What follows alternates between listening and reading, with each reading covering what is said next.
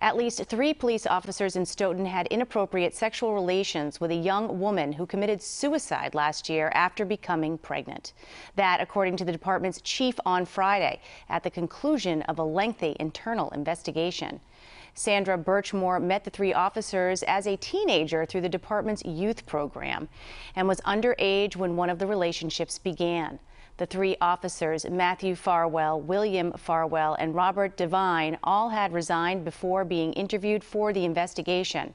Hundreds of messages were uncovered over the course of several years, and according to the chief, Birchmore committed suicide last February, days after Matthew Farwell ended their relationship. The Stoughton chief is calling on the state to decertify the three officers, and the Norfolk DA's office is looking into criminal charges.